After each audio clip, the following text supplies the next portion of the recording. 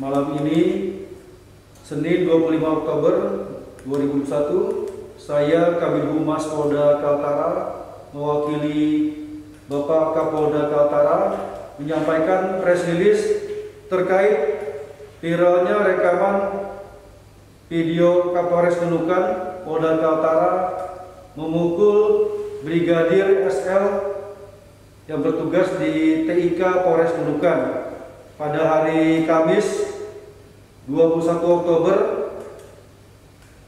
2021 di Aula Polres Nunukan.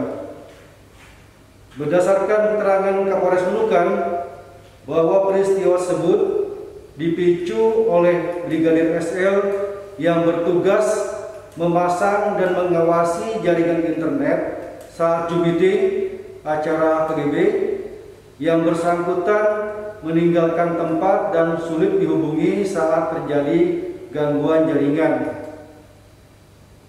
Kemudian pada saat Brigadir SL muncul di aula, Kapolres emosi dan memberikan hukuman berupa pemukulan. Rekaman video CCTV diambil Brigadir SL dan dipiralkan ke grup WA TIK Polda Kaltara dan grup Leting Bintara.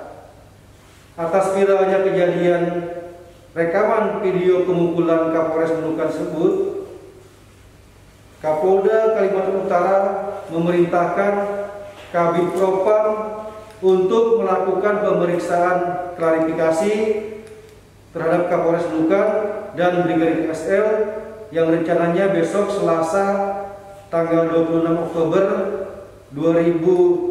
2021 Kapolres Nunukan dan Brigadir SL akan diperiksa di Bipropam Polda Kalimantan Utara.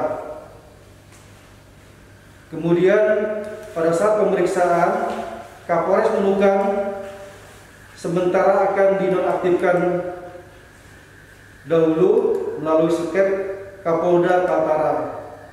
Kemudian surat telegram mutasi Brigadir SL nomor ST30 Romawi 10 2021 tanggal 25 Oktober 2021 di mana yang bersangkutan mutasi dari TIK Polres Nunukan ke Polsek Krayan Selatan yang ditandatangani Kapolres Nunukan atas perintah Kapolda Kaltara dibatalkan. Demikian press release hari ini. Terima kasih. Assalamualaikum warahmatullahi wabarakatuh. Selamat malam.